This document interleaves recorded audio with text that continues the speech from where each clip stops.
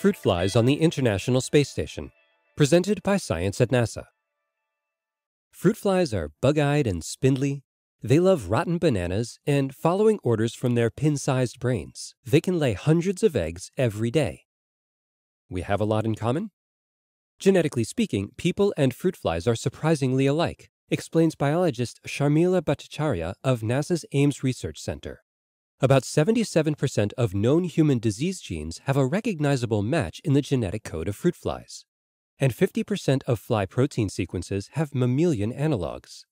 That's why fruit flies, known to scientists as Drosophila melanogaster, are commonplace in genetic research labs.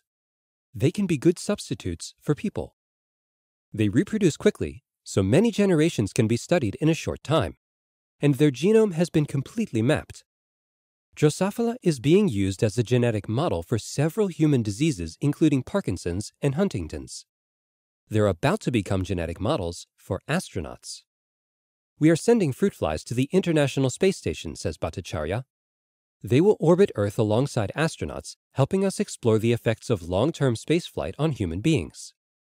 The flies will be living in a habitat developed at Ames called the Fruit Fly Lab. Inside, they will lead the hurried lives of fruit flies, living, dying, reproducing, and experiencing the same space radiation and microgravity as their human counterparts.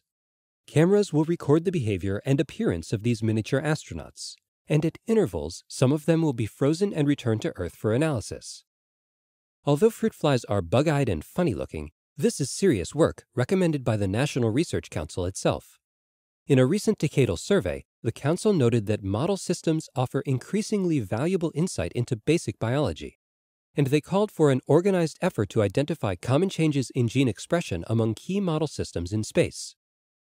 The Fruit Fly Lab will allow us to look into a variety of questions such as the effect of spaceflight on aging, cardiovascular fitness, sleep, stress, and much more, she says.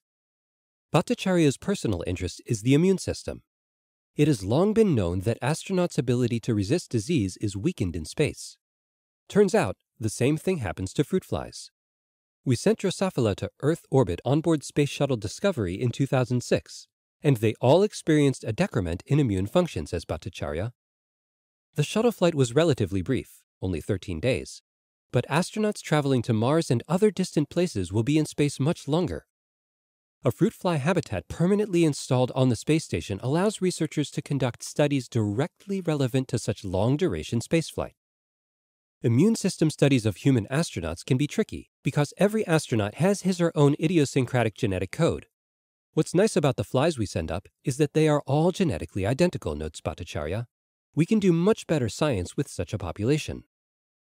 Flies on board the space station will also have their own carnival ride. A 1G centrifuge will subject Drosophila to the equivalent of Earth gravity, allowing researchers for the first time to unravel the competing influences of radiation and gravity. This is cutting edge research, she says, clearly enthusiastic about this new device. The Fruit Fly Lab is scheduled to launch on board the fifth SpaceX commercial resupply mission. Maybe they should pack some bananas too. Rotten, if you please. For more news about living things, in Earth orbit and beyond, Stay tuned to science.nasa.gov.